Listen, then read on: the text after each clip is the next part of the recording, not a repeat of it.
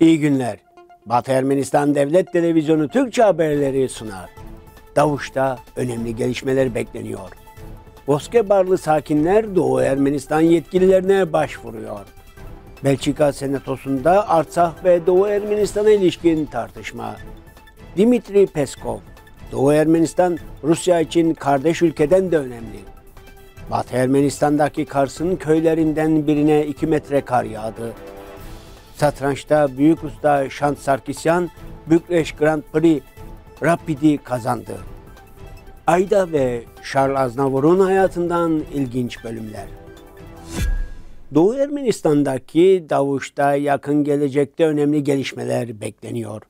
Davuş köylerinin teslimi Bakü'ye yönelik daha sonraki askeri operasyonlar için bir platform oluşturabilir.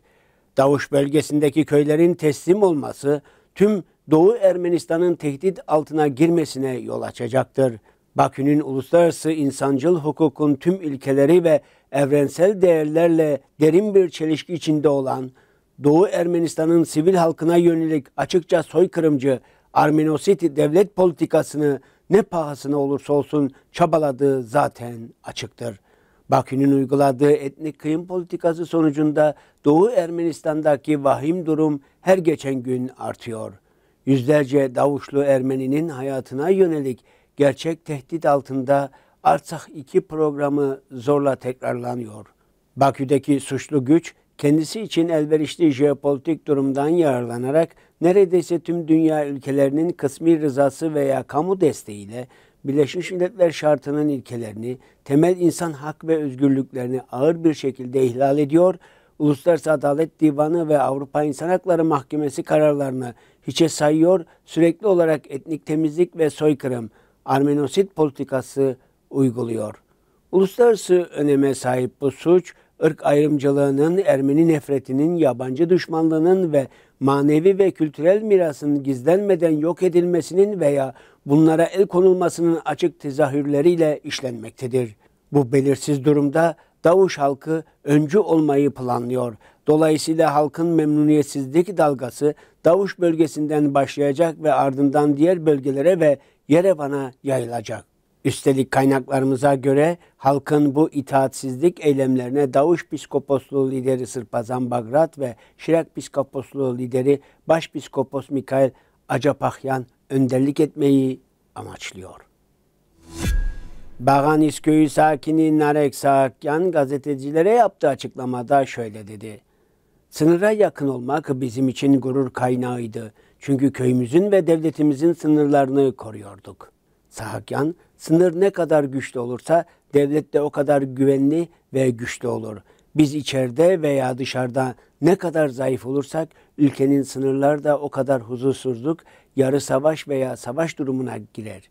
Ne yazık ki o aşamayı yaşıyoruz ifadesinde bulundu. Boskebarlı Narek Beklaryan sınırda 7. yüzyıldan kalma bir kilisenin bulunduğunu vurguladı. Bu da burada köy kurduğumuzda Türk'ün burada olmadığını kanıtlıyor. Bu kadarını Türkiye vermek en büyük hakarettir. Türk'ün hedefi Ermenileri katletmektir. Türk'le barış dilini konuşmak mümkün değildir. Eğer siz altında veya üstünde Azerbaycan toprakları olduğunu düşünüyorsanız bizim de Azerbaycan'ın kontrolünde olan topraklarımız var. Mücadele et ve o toprakları talep et. Kendisi neden talepte bulunmuyor ve neden tek taraflı tavizlere gidiyor? Kavgayla kimi korkutmaya çalışıyor ki doğduğumuz günlerden beri kavga içerisindeyiz. Bundan biz ne korkarız ne de bizi terörize edebilirler.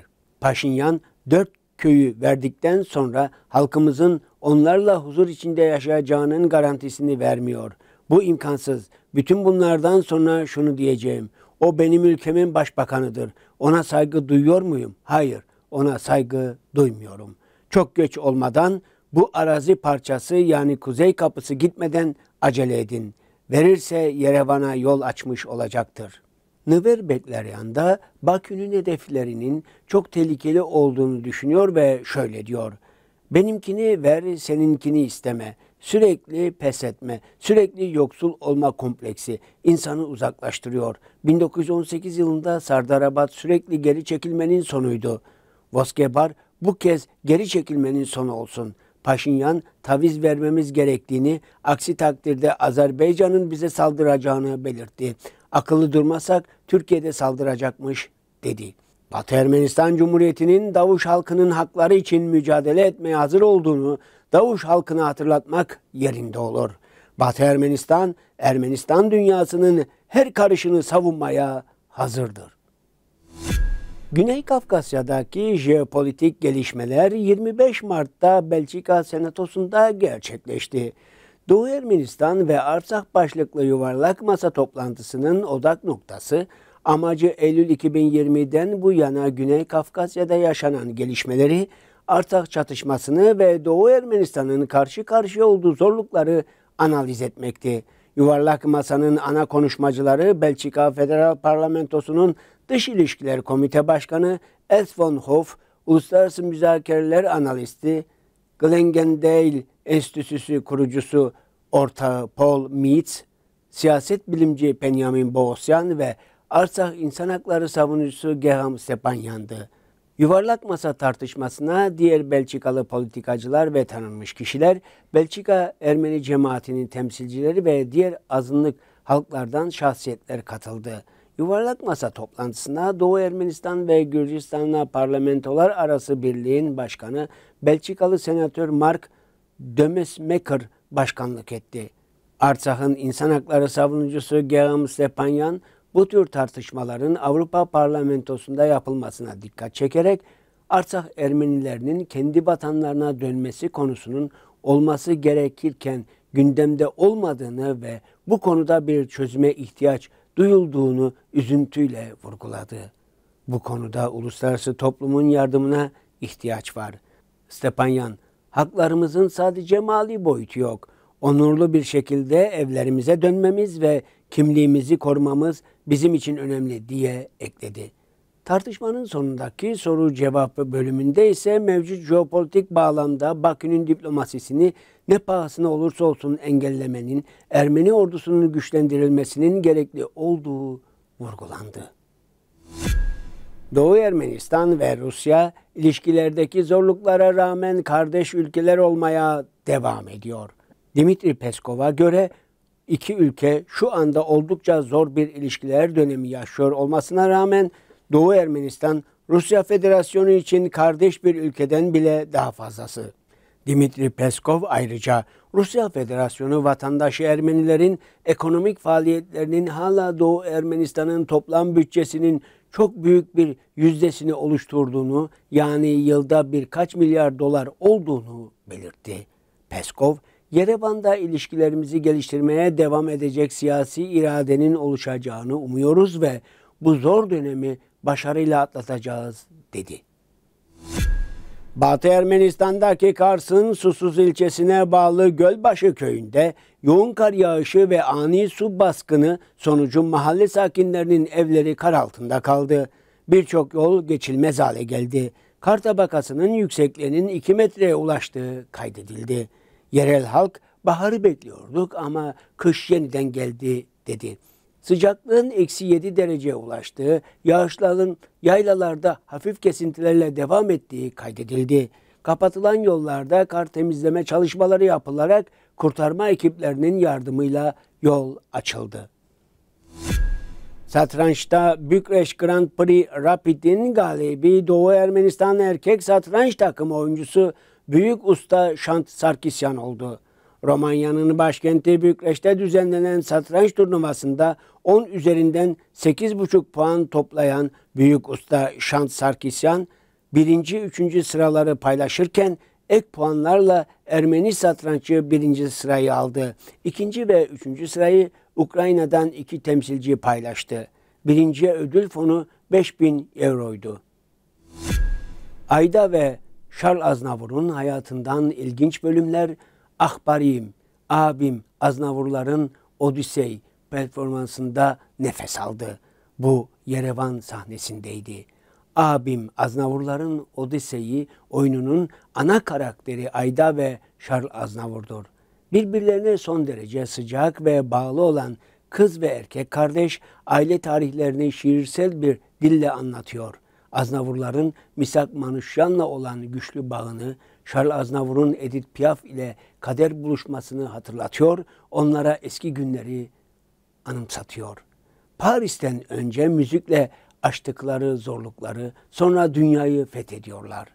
Charles Aznavour'un 100. yılı kapsamında Aznavour'un kız kardeşi Ayda Aznavour Karvarents'in otobiyografik kitabı Ahbariyim, abimden uyarlanan performans Yerevan sahnesine geri döndü. Bu performans 25 Mart'ta Yerevan'daki Hraçya Kaplanyan adlı dram tiyatrosunda Aznavur Vakfı'nın girişimiyle şansoniye hayranlarına sunuldu. Nikola Aznavur, Charles Aznavur bir dahiydi ama her şeyden önce o benim babamdı. Çok konuştuğumuz, edebiyat zevkimi birlikte oluşturduğum bir babaydı. Seyahat etme tutkumuz tükenmezdi. Aynı zamanda farklı ülkelerin mutfaklarını keşfetme konusundaki olağanüstü eğilimimiz de bizi bir araya getiriyordu diye konuştu. Nikola oyunu ilk kez izliyor ama teyzesinin kitabını okumuş.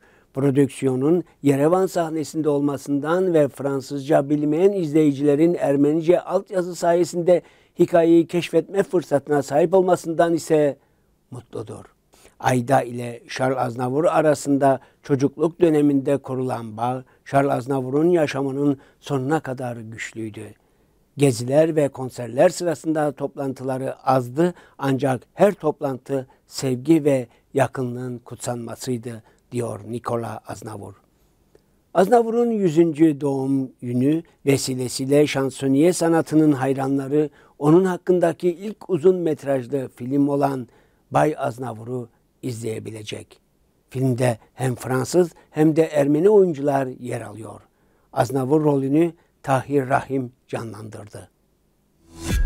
Bugün için bu kadarını öngördük. Şimdi size Aşuh Nazali ve Razmik Bağdasaryan tarafından seslendirilen Hızor Davuş adlı eseri sunuyoruz. Lernerët ve ansasa Antarët ջրերը ծով բալասա սարերը ցեք լեռները տվե անսասա անտարդ մո ջրերը ծով բալասա սահմանդ ամուր ու զենքերդ բուր զավակներդ քաջ ու երկասան Զովտավուշ, ապարտավուշ իմ հաղթական Eserin e, tamamını Batı Ermenistan Devlet Televizyonu'nun resmi sitesinden izleyebilirsiniz. Hoşçakalın.